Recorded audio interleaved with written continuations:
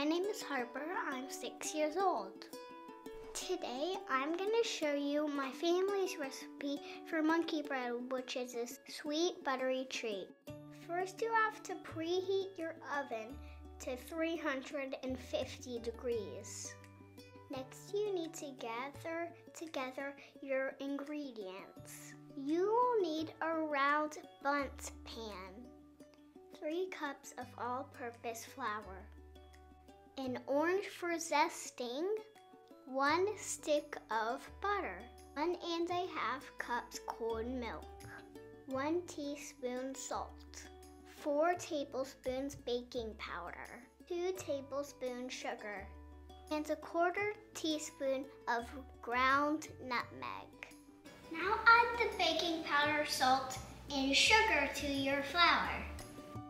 Also add the ground nutmeg. Whisk it all together next. Careful not to mix too fast or some of it will spill out. Get a grown-up to help you zest the orange into your flour.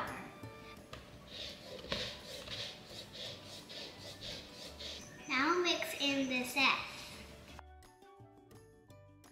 You can get a grown-up to help you cut your cold butter, or my favorite way is to use a cheese grater. In order to grate your butter, it has to be frozen. You can get a grown-up to help you.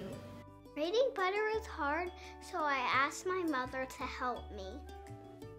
I like to roll the butter in the flour because it's because it makes it a bit, bit easier to mix.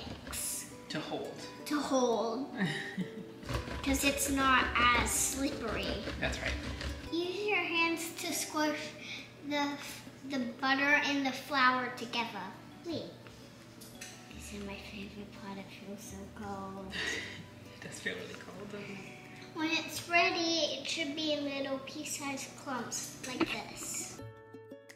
Now it's time to add the milk, but always make sure afterwards to wash all the flour off your hands. Now carefully pour the milk into the flour and butter.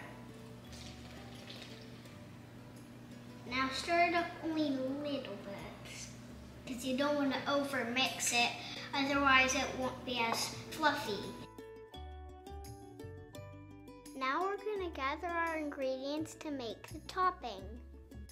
You will need one stick of butter melted in a shallow bowl. One half cup of each brown, brown sugar and white sugar to another shallow bowl. Add one tablespoon ground cinnamon. Now mix together your sugars and cinnamon. For this part, it's helpful to have a partner. One person can scoop the dough and then the other person can roll the dough in the butter, shake it off, and then roll it in the cinnamon sugar and then put it in the pan.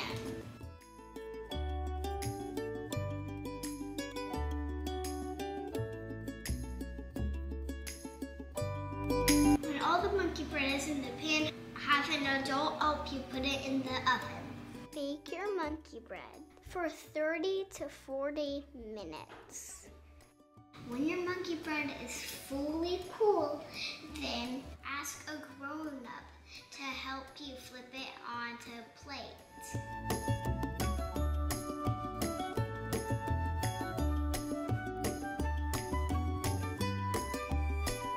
You ready to try some?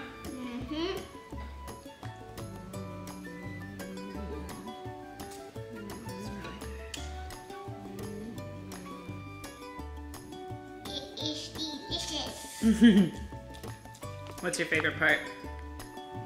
My favorite part is all the sugar mixed together.